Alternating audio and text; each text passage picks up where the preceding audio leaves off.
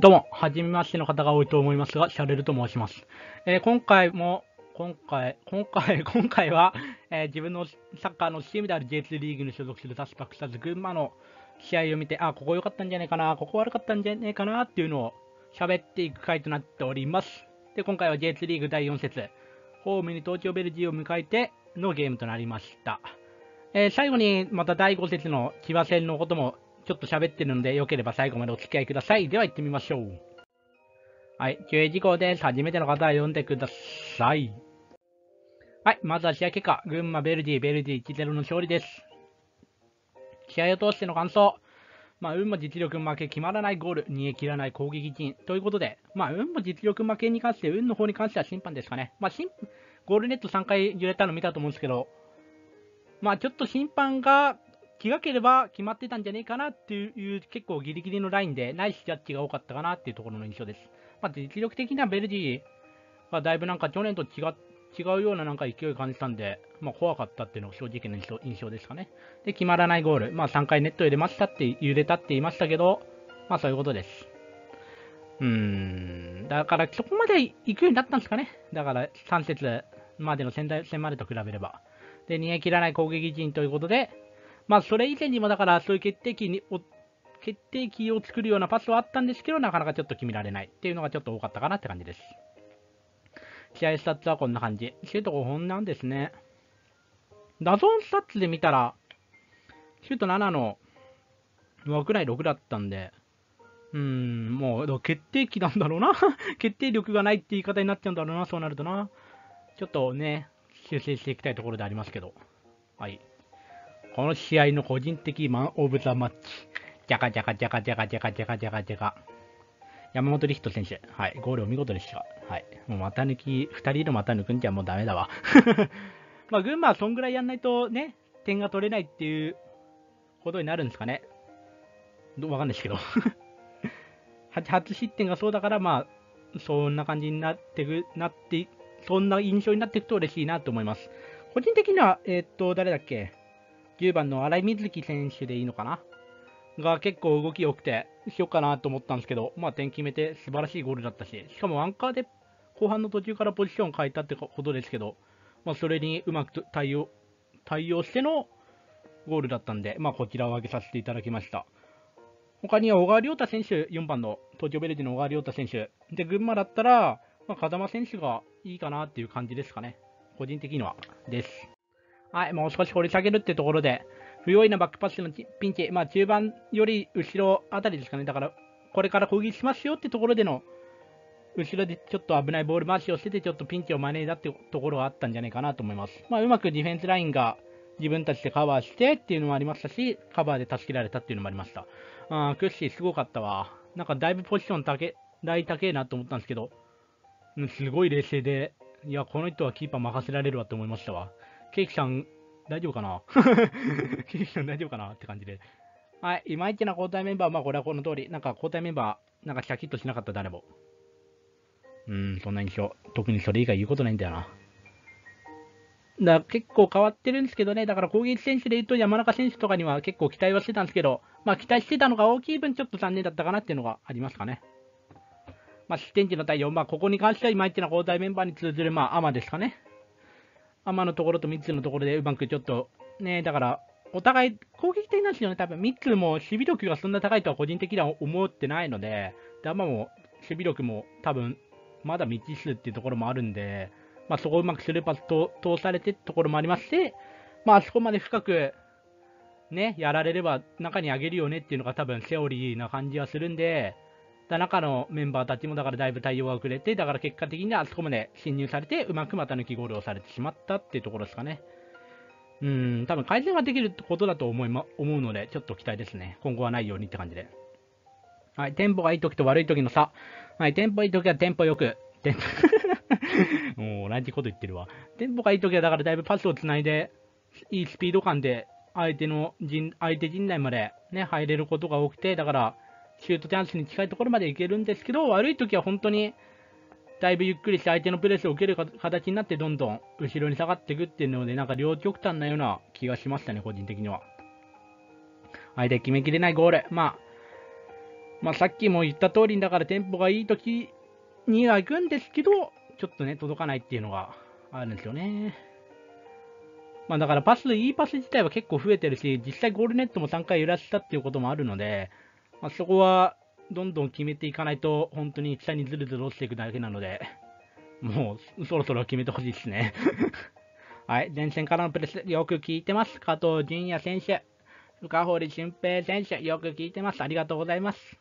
まあ、それで、だから交代戦メンバー、いまいちな交代メンバーっていうのも関わるんですけど、だから、交代メンバーで、まあ、高木はだいぶ頑張ってたなって気はしますけど、まあ、平松がやってないとかってわけじゃなくて、どっちかっていうと、加藤深堀の方が効いてたんじゃないかなと、個人的には思います。はい、セットプレーでの得点の匂い、そうですね、最後の3点目、幻の3点目 幻の3点目っていう言い方知らないけど、あの、川上のゴールのやつですね。あの、それで、どっちだっけセットプレー切ったの蹴ったの。どっちか忘れちゃったけど。ね。だからそれ前回の仙台戦もコーナーキック1本でしたけど、その唯一もだいぶ得点のにあってポストに嫌われたっていうところがあるので、まあセットプレー今年も期待してんじゃないかなってので、設定セットプレーとカウンターっていう縦の武器があればね、だカウンターがシュカウンターでいってって、それでシュートは、まあ、打てるけど、相手に弾かれてコーナーになる。まあそれ、もしくは相手が止めざるを得ない状況になるなら、それはだから、いい位置からフリーキック取れるので、まあ、いい2つの武器なんじゃないかなとは個人的には思います。風間にグッド。ボランチどうかなと思ったんですけど、グッドでしたね。まあ、仙台戦でも、だいぶハジさんが早い段階で負傷交代してるとこがあったので、あんま心配はしなかったですけど、さすがでした。ありがとうございますって感じで。これからもよろしくお願いしますって感じで。まあ、ここに変わる人たちが出てくる、出てくるといいんですけどね、個人的には。うん、ディフェンス的なボランチがだいぶ少ないような気がするんだよね。まあ、風間さんも、多分ね、攻撃だからね、頑張っていってほしいですね。まあ、守備もだいぶ頑張ってたので、そこはいい評価だと思います。はい、行きましょう、次。変な声ね。はい、学びも収穫もあるゲームだったと思います。学びも収穫もあるゲーム、なんか同じこと言ってるような気がしますけど、そうですね。まあ、そういうことで、だいいとこもあったし、悪いとこもあった。だから、それをうまく、多分ビデオとかで見るんでしょうけど、大月さんのところは。ね。それをどんどん伸ばしていって、ダメなところは修正していく。まあ、無失点は本当に続くものではない。この先を崩しないで、この、まあ、4節、まあ、3節までですかね、まあでの戦いをうまく継続していって、どんどんシュートチャンスを増やしていくっていうことを続けていければ、あんまり落ちないで、いい位置で戦えてるんじゃないかなと思います。まあ、プレーオフ圏、まあ、プレーオフ圏争いはしてほしいなっていうのが個人的には理想ですけど、そんな簡単、まあ、降格争いしてたチームがそんな簡単にいかないと思わないんで、だから降格争いは、あんましてほしくないっていうのが今年の俺的な願望です。以上。はい、第5節、ジェフ千葉戦、3月20日、3 3曜日じゃない、日曜日、日キックオフ、福田電車アリーナでアウェー戦ですね。4節までのお互いのデータです。左じゃなくて右ですね。ごめんなさい。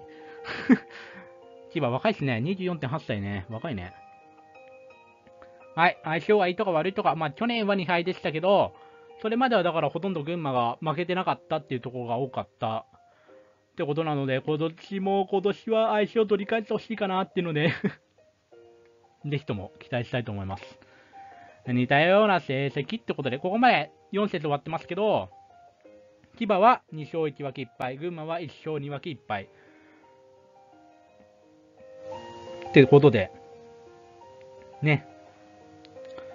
そこはどうなんだろうね。だからお互い攻撃力もいいのかどうかっていうのが、ちょっと気になるところです。うん、言ったわな。言ったな、この後な。お互い足りない攻撃力。まあ、ぐ群馬は群馬ですけど、本当に。千葉は、まあ、千葉は4試合で3得点入れているので、まあまあ、最低限のラインなんかなと思いますけど、まあ、千葉もね、ちょっとね、いろいろ人手不足っていうか、いろいろ新型コロナの影響で、ちょっと足りない、人数が足りないっていうところはあるので、でもそれでもね、ちゃんと2勝1分けいっぱいって勝ち越してるのでいいと思います、個人的には。ちょっと怖いですね。で、風間兄弟対決。なるか。はい。ちょっとね、ここは楽しみにしたいと思います。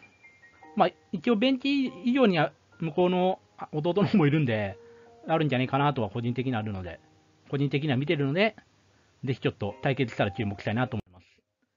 はい、アディショナルタイムでちょこっとだけ出した牛乳うまかった。ハーフタイム抽選会まだかな。まあ、牛乳うまかった。まあ、試合後で、ね、勝ってればね、勝利のビッシュ感覚ですげえうまかったんでしょうけど。で、ハーフタイム抽選会。